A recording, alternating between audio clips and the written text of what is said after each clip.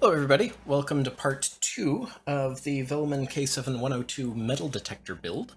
Um, in the last video we just threw on the resistors and the capacitors here, and now we're just going to uh, finish up with the rest of the components. Um, and then there will be a jump cut, I'll put the coil together, uh, solder it into place, and we'll play around with it. So, uh, we're going to go ahead and move on to the transistors. Now they're just they're all three the same thing, so there's no need to keep track of which one is which. Uh, they are BC547 uh, NPN transistors, I believe. Let me make sure that that's a correct thing to be saying. I've got my transistor tester off off screen here.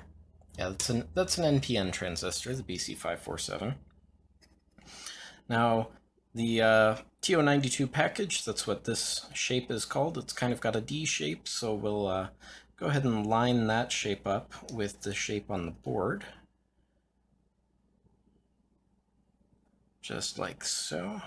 Uh, transistor 2.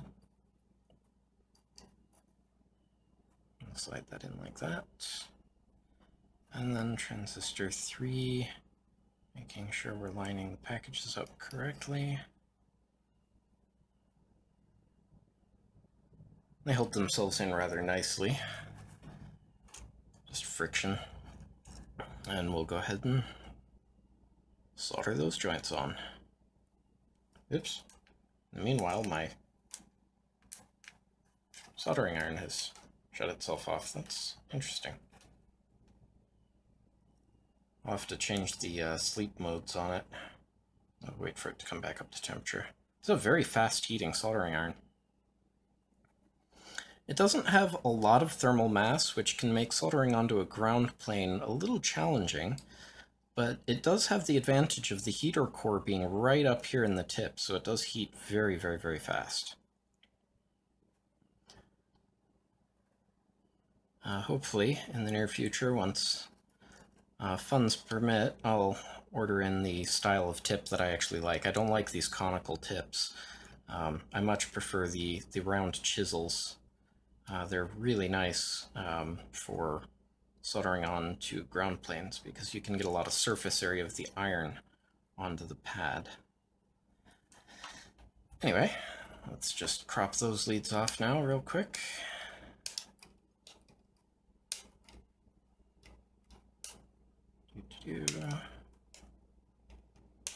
All right, there's that going on. All right, the next thing is just going to be an LED. And as we've always talked about before, uh, the negative lead is the one with the flat side here, or the shorter lead. Although sometimes with LEDs, uh, the, the lead lengths are reversed. So one way to make absolutely sure that you've got the polarity correct is there's sort of an anvil-shaped uh, part inside the LED there. I wonder if I can get close enough here to show it. There we go. You can sort of see a little bit of an anvil shape there on the the right-hand side of the LED. That is the negative side of the LED as well. Uh, but in this case, uh, they just have the shape of the LED on the board, so we'll match the flat side of the LED up to the flat side of the silk screen there. We'll socket that right in there.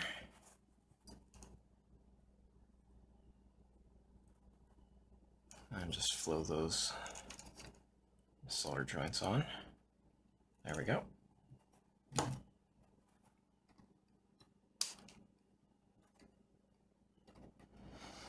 All right. Next thing to add on is going to be the trim potentiometers. Now from a cursory glance at the circuit diagram, I believe these are used to tune the resonance between the two coils. Uh, We'll talk about the science of uh, metal detectors when I do the circuit analysis. It looks like these are going to require a little bit of fiddling to get into place nicely. So what I'll do is I'll just flow solder onto one pin of each potentiometer. And I'm going to apply pressure on the on the potentiometer while reflowing. And you might have heard that little click. That's the potentiometer seating nice and flush onto the board once I've reflowed the joint. Then once that joint solidifies, it holds the potentiometer flush to the board. We'll just go ahead and flow the rest of these joints here. There we go. Big pads on this other potentiometer. Alrighty. So there's that in place. What's the next thing? Well, next thing is the push button switch here. Uh, we're starting to run a little long here, but uh, that's alright.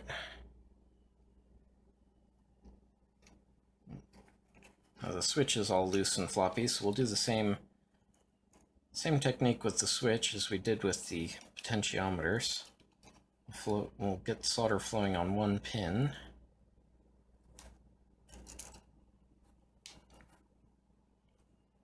And then make sure it's nice and flush to the board. There we go. And we'll just flow the remaining pins.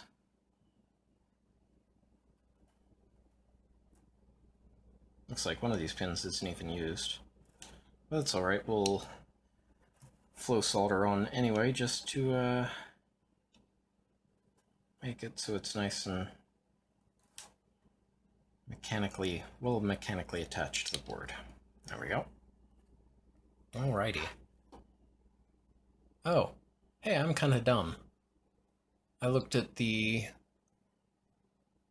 uh, what time of day it was, not the video runtime. I wonder how long the other video was. I was like, oh, it's been 17 minutes. I have to stop now. Uh, but it probably was much less than that. Okay, so uh, the next thing we're going to do is um, solder on these uh, this 9 volt lead here. So just uh,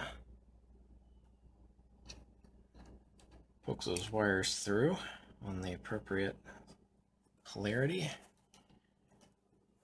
Go ahead and flow them on. There we go.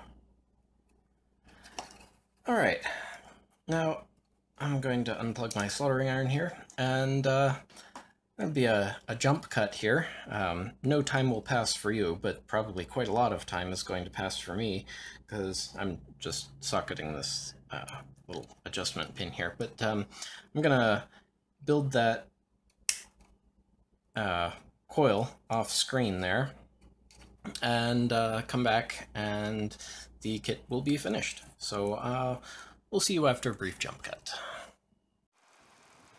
Alright, so we're back real quick. Um, I'd taken down all my camera stuff, so pardon the slightly shaky camera, but uh, I finally gotten the coil winded. This was actually quite a project. Um, I'll go into, well, I'll actually explain how I did it uh, right now. Um, what I did was I started by supergluing one turn onto the end of the coil here, and then I wound 43 turns on, so that's for the primary.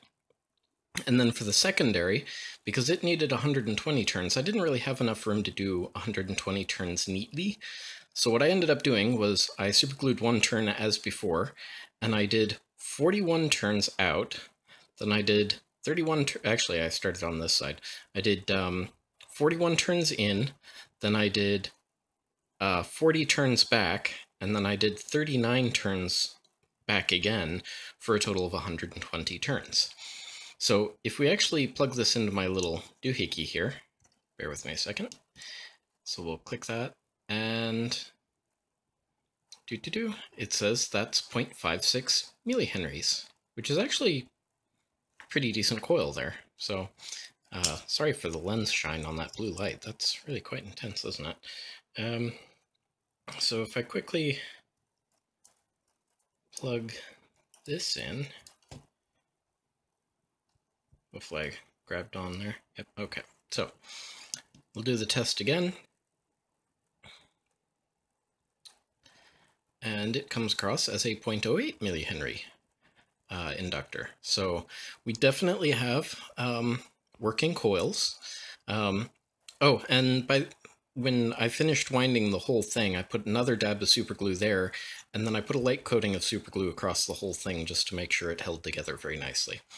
Anyway, so um, that's the coil finished. Uh, there will be another jump cut, and then I'll have my system or my filming setup done properly again, and we'll see the um, the metal detector in action. So we'll be right back. All right, and we're back. Um, some time has actually passed, but it's finally finished. Um, unfortunately, there isn't any time lapse of me wrapping the coil here. Um, I had meant to, but um, I didn't set it up correctly, and it only took a single picture, so there won't be any time lapse of me wrapping this coil. Uh, but as I already explained, I just Took some super glue, secured one end, wound it down. Um, this side has 43 turns, although it says 40 turns on the uh, uh, PCB there. Um, it said 43 in, in the instructions. Um, and this side has 120 turns, which I accomplished by, as again, super gluing one end to the core here, winding it out to 41 turns, uh, putting a dab of glue on it, waiting for it to harden, uh, doing 40 turns back, gluing it again, and then doing 39 turns back again. Uh, but I already explained that. Um, you don't have to wind them this neatly, but um, I'm a bit of a neat freak, so I did it as neatly as I could, and I believe they came out quite nicely. So now comes the part, and I'm going to move... Uh, actually, I have to hold on to this for a second. Now comes to the part where we calibrate and test the metal detector. Um, so the instructions say we need to take RV1, which is this uh, little little potentiometer, and turn it fully clockwise, which it already is. Uh, then we need to take uh, RV2, which is this one, and turn it all the way anti-clockwise, counterclockwise. So that's that done. Then you take and push the button, you'll see the LEDs lighting up there. We want that to actually go out. So we're going to take this uh, little RV1 and we're going to start turning it counterclockwise until it goes out. And if the circuit works the way I think it does, it should actually cut out very quickly. It should just be sort of an instantaneous boink. Yep, there we go. There we go. Alrighty. Alright.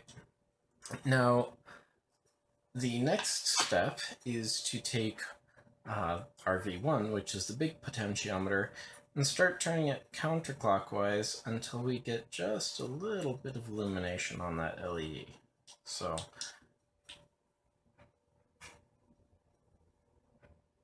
I'm not too sure if it's going to show on the camera, but we've got it very dimly lit right now. So, now we want to test to see if it will actually detect some metal. So I'm going to take this screwdriver here, and I'm going to bring it in towards the metal detector, and you'll notice it starts getting much, it actually starts brightening up at quite a fair distance. Let's turn this down just a little bit more. It starts lighting up when I'm a fair ways away, and then it gets brighter very suddenly as I get very close. Um, so it even gives you a, a decent reading of, of your proximity to the metal by way of the LED getting brighter. Now we're actually starting to build up a bit of a magnetic field inside the the core of the coil, so we have to keep recalibrating as we use it, but there we go. So I pored over the schematics for this, and I'm not 100% confident on how this particular circuit works. Um, my theory is that we've got the larger coil, this will be the transmission coil, uh, set to a certain frequency of oscillation uh, by the capacitor and the transistor and uh, various resistors here. So it's charging and discharging, so it's making a oscillating magnetic field. When we're adjusting uh, RV1 here, uh, this sense coil, we're setting it to um, basically ignore the oscillations of this one. Um, it is also uh, containing an oscillating magnetic field um, done by another one of these transistors and this capacitor here. And we're basically trying to cancel out uh, the magnetic field being produced by this one with this one, so they're zeroed out. Um, and as we bring a metallic object into those oscillating magnetic fields, it changes the frequency um, of the sense coil, which um, then turns on a transistor and then turns on the LED. Now that's the way most metal detectors work. This one's a little unusual. Um, uh, most metal detectors I was looking at online um, either use 555 timers or proximity ICs or purpose-built uh, PIC controllers. Um, I didn't find a lot of information on metal detectors done with, with three transistors, so that's how I think this works. Um, if anybody who knows more about it wants to let me know in the comments below, uh, go ahead and do so. Um, also, uh, click this link here to Am I on camera? Uh, click this link right here to subscribe to my channel. Uh, that's very important with changes that YouTube has made. Um, click over here for a video that YouTube thinks you'll find interesting. And click over here for the uh, playlist for this if I do it in multiple videos or just um, something that I pick that I think I think you'll find interesting. And also consider supporting my channel here on Patreon. I've started a new series called Back to Basics, which uh, Patreon or patrons get first, um, and then I release on YouTube one week later. So uh, thank you so much for watching, and we'll see you next time.